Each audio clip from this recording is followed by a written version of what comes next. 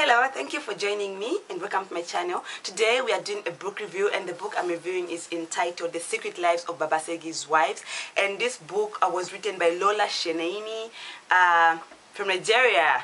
So Nigeria literature in the building. So um, uh, Lola Shoneyin takes us on a journey through the lives of Babasegi and his four wives. So Babasegi was um, an illiterate man who had four wives. The th three of the wives uh, had children and the fourth wife who happens to be uh, a university graduate she never had any child and so um, in the book they describe the other three wives as um, Iyasegi, Iyatope, and then uh, the last, uh, the fourth wife is Bolanle. She wasn't called, she, uh, she wasn't called Iya because she didn't have any child. In the Yoruba culture, when somebody has a child, they call that person after uh, the name of the child, just like uh, in Zambia. For example, if you want to say the mother to Maggie, you say Vanamagi or Womahe Maggie, depending on the um, on the side of the country where you're coming from. Uh, first of all, when, when Bolanle joined this house, uh, this house, she wasn't supported by her family because a graduate just, you know, get married to an illiterate man and in a polygamous union for that matter. So that really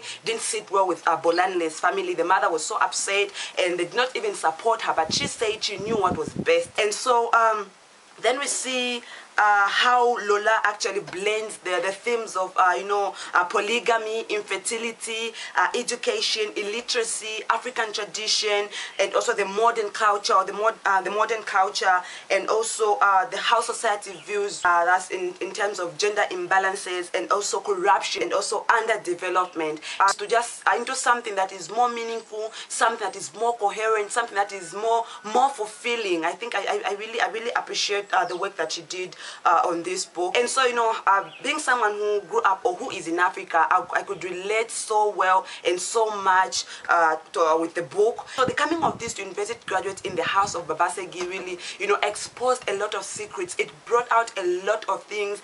It sparked out a lot of hurt, a lot of jealousy, uh, a lot of envy, and then um, there are a number of things that really stood out for me in this uh, in this book. The use of metaphors, you know, the diction, the prose, uh, just every the way everything just flows. You know, it really um, shows that uh, the author has a poet, a poetry or a poetic background. And uh, actually, uh, Lola Shoneyin is a renowned poet, and so you could see how she just you know writes everything uh, in the book in a poetic way. So the book was just quite hilarious. It was it was so sad. It was emotional. So um, I, I, really appreciated the selection of words and just, you know, the structure, the, the, the, the, morphology of the words that really, you know, stood out for me. And another thing that stood out for me in the book was the character's voice. I was able to hear every character's voice, you know, in as much as she would uh, maybe narrate the story uh, from a neutral point of view, I was still able to connect. I was not lost. I was still able to connect to this is whose voice and everything. And so, um, it was so it was so satisfying you know to hear Bolanle you know explain her story in her own words you know her history her background her struggles her fears everything that she went through.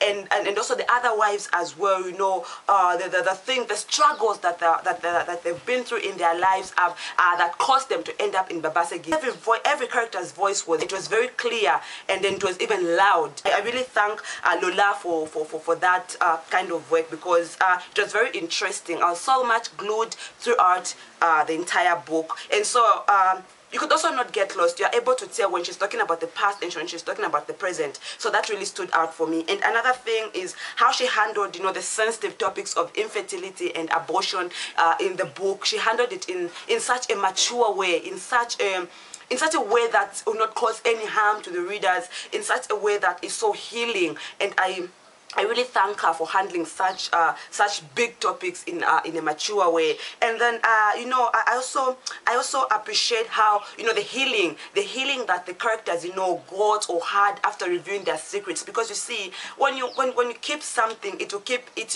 it will keep eating you up until you release yourself from that kind of thing. And so I really appreciate how you know how the the, the, the, characters, you know, just received healing after, you know, being exposed or after their secret got, got exposed. And in most African homes, when, when there's no child, the one who's mostly blamed is the wife or the woman. So is that always the case? So read the book and find out. And I think another thing is the book really, you know, brings out the you know, the, the way society just looks at women because you see, you'd see Babasegi having meetings with his fellow friends, his, his male friends, and they'll talk about women as just uh, uh, being home and just having children and saying if a woman can't give you a child, then what's the use of having her? What's the need of having of, of having her in that home? And I think uh, that's really um, that's the notion in most African homes, uh, and I think that shouldn't be the case. So I really, I like the way the way Lola really you know handled uh, that, and then. Um, the book is it's, it's it's very it's very interesting. It's a quick read. It's very relatable you know. The, the, the narrations are very relatable. You can just you know see uh, some parts. You can relate if, if I know you can't you might not relate with everything but you might relate with at least some of the things that uh, she shared in the book. And then also I think I enjoyed the way you know the way Babasegi would handle pressure because in the book it's it's it um, it tells us to say Babasegi couldn't keep any food in. So the food could either come out from there or from there. And so, um, and even when he's, he's agitated, he's facing a lot of pressure, when he just, you know, when he just does that process, you know, he'll be fine and you'll be so calm and, you know, he'll just, you just be okay. And I, I think that that was really hilarious because you see, you start imagining a man who's in a, in, in a trouser that's so big, he's even sweeping the floor. So it was, it was, it was quite disgusting somehow. Again, it was hilarious. It was emotional. I remember when Segi died, you know, just just the the, the, the, emotional part of everything. I think I, I, that, that really got to me. I really felt bad. And another part is uh, when Ebolanle revealed in front of the doctor and Babasegi that she was um, she was she, she, had had an abortion, and you see how how Babasegi just reacted. And it was, really emotional, and um, and also talking of the underdevelopment and how just this um, the, the, the how uh, things are handled in African in African hospitals or rather in African governments. So it really brought out that, and I, I, I was I was able to relate to most of the things, and I, I think that um, Lola really did uh, a great job. And so I'll rate this book I'll give it 4.1 stars. I really enjoyed I was so much glued. And so uh, if you want to, to, to, read if you want to try it I'm sure it's, it's, it's, the best book you can you can actually you know go for and just explore and just understand how things you know are done. And the, the culture in the book I think it was the, the Yoruba culture from Nigeria. Personally I, I don't support polygamy. I wouldn't really I wouldn't want to be in a polygamous union. But I, I, I respect the people that would um, but then from the book we could tell confusion, the, the confusion that was in Babasegi's household.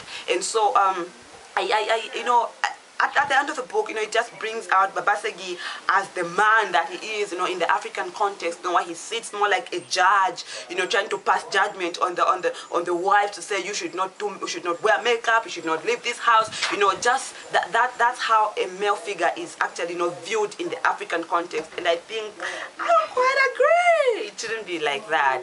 That when Ebolanle in the life of Babasegi, she discovered herself, she knew who she was, and she brought out a lot of things that Babasegi didn't even know. So I really um, appreciate Lola in this book. And so if you've read the book, kindly share your views, share your, your thoughts on the book in the comment section down below. And if you'd want to try it, kindly uh, also indicate. And also if you've read the book, what really stood out for you. Let's interact, let's talk.